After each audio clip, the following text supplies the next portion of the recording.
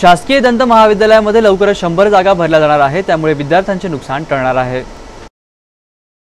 शासकीय दंत महाविद्यालयात पन्नास जागांसाठी दरवर्षी प्रवेश प्रक्रिया राबविली जाते. शंभर जागांच्या महाविद्यालयासाठी पन्नास हजार चौरस फूट जागा अपेक्षित आहे. प्रत्यक्षात दंत महाविद्यालयाकडे सव्वाशे चौरस फूट जागा उपलब्ध आहे. म्हणजे अपेक्षेपेक्षा दुप्पट जागा असल्याने शंभर विद्यार्थ्यांना प्रवेश देता येऊ शकतो. म्हणून लवकरच शंभर जागांसाठी प्रस्ताव शासनाकडे पाठवणार असल्याची माहिती महाविद्यालय प्रशासनाने दिली आहे एप्रिल आणि जून महिन्यात दंत परिषदेच्या पथकाने महाविद्यालयाला भेट दिली होती.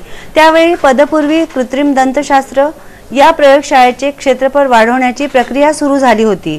दंत परिषदेच्या नियमाप्रमाणे प्रयोगशाळा पंधराशे चौरस फुटाच्या जागेत असणे आवश्यक आहे. पथक आले तेव्हा अकराशे चौऱ्याऐंशी चौरस फुटाची प्रयोगशाळा एकोणावीसशे चौरस फूट करण्याचे काम सुरू होते. मात्र प्रत्यक्षात पथक आले तेव्हा हे काम पूर्ण होणे अपेक्षित होते. पण तसे नसल्याने पथकाने दहा जागा रद्द करण्याची शिफारस केली होती. या प्रकरणात महाविद्यालयाची चूक नसून सार्वजनिक बांधकाम विभागाची दिरंगाई कारणीभूत असल्याचा आरोप अधिष्ठाता एस पी डांगे यांनी केला होता.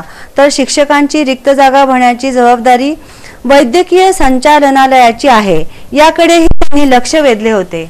ऑगस्ट पर्यंत प्रयोगशाळा विस्तारीकरणाचे काम पूर्ण होईल. दरम्यान तीन लाखाच्या आतील उपकरणे अधिष्ठातांच्या मार्गदर्शनाखाली खरेदी करण्याची प्रक्रिया सुरू झाली आहे.